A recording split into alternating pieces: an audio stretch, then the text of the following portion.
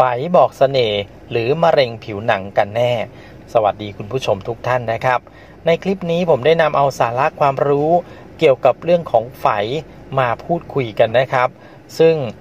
เชื่อว่าหลาย ๆ คนเนี่ยก็อาจจะมีนะครับบ้างมากบ้างน้อยบ้างนะครับ หลาย ๆ คนก็อาจจะเกิดความลำคาญใจ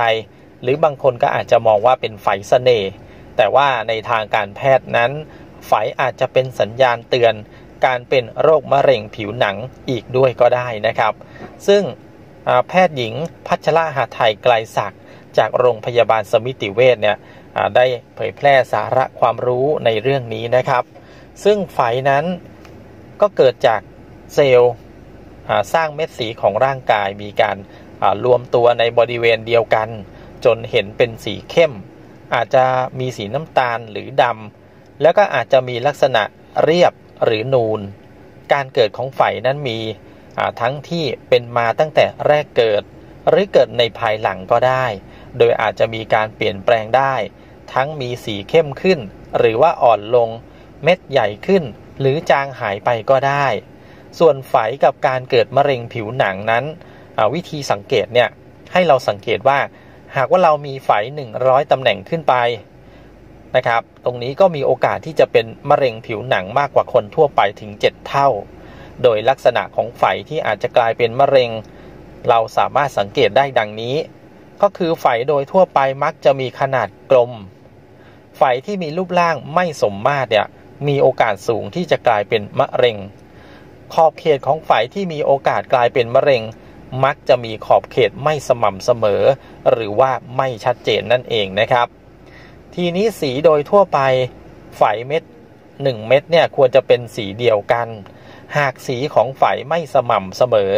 หรือมีหลายสีในเม็ดเดียว ก็ควรระวังขนาดหากขนาดฝายมีเส้นผ่าศูนย์กลางมากกว่า 6มิลลิเมตรอาจจะเป็นมะเร็งผิวหนังได้ และก็หากฝายมีการเปลี่ยนแปลงที่ชัดเจนนะครับอนอกจากขนาดมากกว่า 6มิลลิเมตรแล้วเนี่ย หรือถ้ามีการเปลี่ยนแปลงที่ชัดเจนเร็วเกินไป เช่นมีสีขนาด รูปร่าง โตเร็วผิดปกติ ตกสะเก็ดหรือมีเลือดออก ตรงนี้ควรจะระวังและปรึกษาแพทย์นะครับสำหรับผู้ที่มีความเสี่ยงในการเกิดมะเร็งผิวหนัง ไม่ได้มีเพียงผู้มีไฝจำนวนมาก หรือไฝขนาดใหญ่แต่กำเนิด ไฝมีการเปลี่ยนแปลงอย่างผิดปกติเท่านั้นนะครับ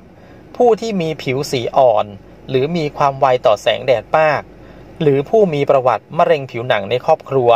ผู้สัมผัสแสงแดดอย่างมากเป็นประจำก็มีความเสี่ยงเช่นเดียวกันนะครับสำหรับวิธีการกำจัดไฟนั้นมี 2 วิธี ก็คือการทำเลเซอร์และการตัดออก ซึ่งก็ขึ้นอยู่กับระดับความลึกของไฟ และดุลพินิษของแพทย์ผู้ตรวจ การกำจัดไฟทุกวิธีมีโอกาสทำให้เกิดแผลเป็น แต่การกำจัดไฝโดยแพทย์ที่มีความชำนาญ จะช่วยลดความเสี่ยงของการเกิดแผลเป็นถาวรนะครับ หรือแผลเป็นนูนได้ ทีนี้การวินิจฉัยมะเร็งผิวหนังเนี่ยวินิจฉัยอย่างไรนะครับ ปัจจุบันเนี่ยเขามีการใช้ dermo dermoscope เพื่อใช้ในการตรวจคัดกรองมะเร็งผิวหนังระยะเริ่มต้น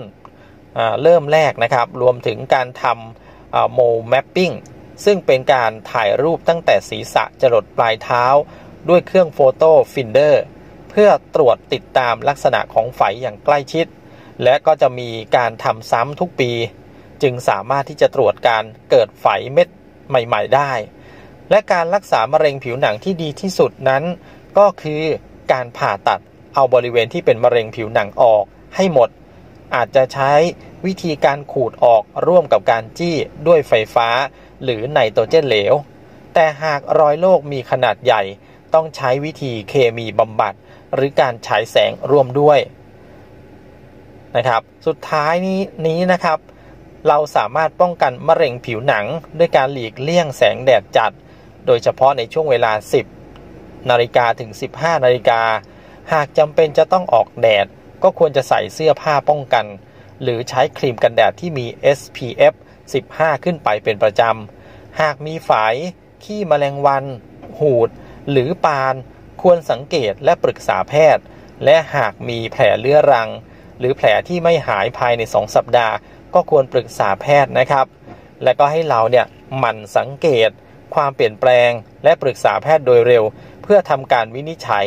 และรักษาตั้งแต่ระยะแรก ก็จะช่วยลดความเสี่ยงในการเสียชีวิตได้อย่างมากนั่นเองนะครับ